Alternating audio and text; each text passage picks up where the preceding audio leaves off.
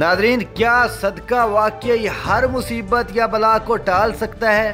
کیا صدقہ ایک مرنے والے انسان کو موت کے منہ سے بھی نکال سکتا ہے؟ صدقہ ہماری زندگی پر کس طرح اثر انداز ہوتا ہے جاننے کے لیے دیکھیے یہ رپورٹ۔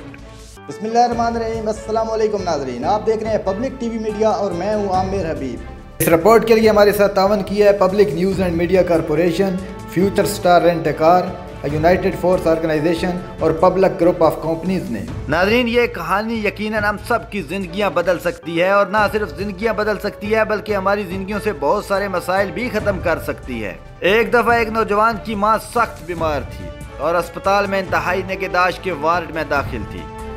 ڈاکٹروں نے یہاں تک کہہ دیا تھا کہ برخودار زندگی بہت تو اللہ کے ہاتھ میں ہے، مگر ہم اب مایوس ہو چکے ہیں۔ تم کسی بھی لمحے کوئی بری خبر سننے کے لیے ذہنی طور پر تیار رہنا۔ رات گھر گزارنے کے بعد اگلی صبح ماں سے ملاقات کے لیے اسپتال جاتے ہوئے نوجوان راستے میں ایک پٹرول پمپ پر رکا۔ پٹرول بھروانے کے لیے اپنی باری کا انتظار کرتے ہوئے اس کی نظر سروس شاپ کی دیوار پر پڑی، جہاں ایک بلی نے خالی ڈبے کے نیچے بچے دے رکھے تھے۔ یہ نوزائیدہ بچے بہت ہی چھوٹے تھے، جو ابھی چلنے پھرنے کے قابل بھی نہیں تھے۔ نوجوان کے ذہن میں جو پہلی بات آئی وہ یہ تھی کہ اتنے نازک اور چھوٹے چھوٹے بچے کھائیں گے کیا اور کہاں سے کھائیں گے؟ یہ خیال آتے ہی اس نے اپنی کار ایک طرف ہٹا کر بند کی۔ پاس ہی کھڑی ایک ریڑی سے چھوٹی چھوٹی مچھلیاں خریدی اور اسے بلی کے بچوں کے پاس رکھا۔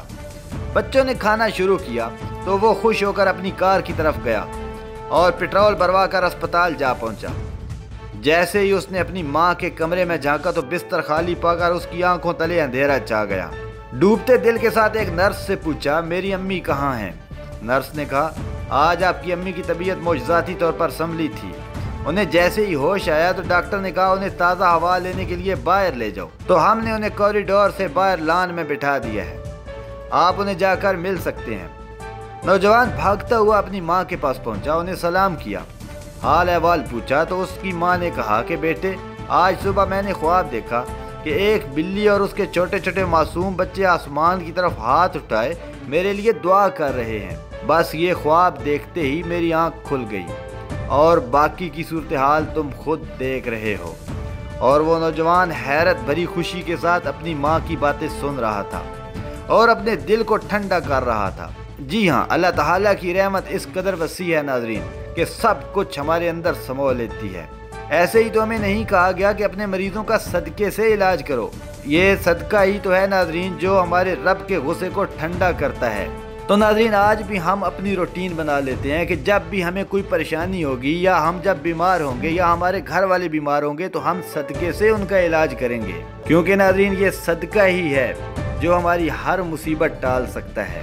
پبلک ٹی وی میڈیا دیکھنے کا بہت بہت شکریہ۔ مزید نیوز تازہ ترین رپورٹس اور معلوماتی پروگرامز کے لیے آپ ہمیں جوائن کیجیے سوشل میڈیا کے تمام چینلز پر اور وزٹ کیجیے public T V media dot com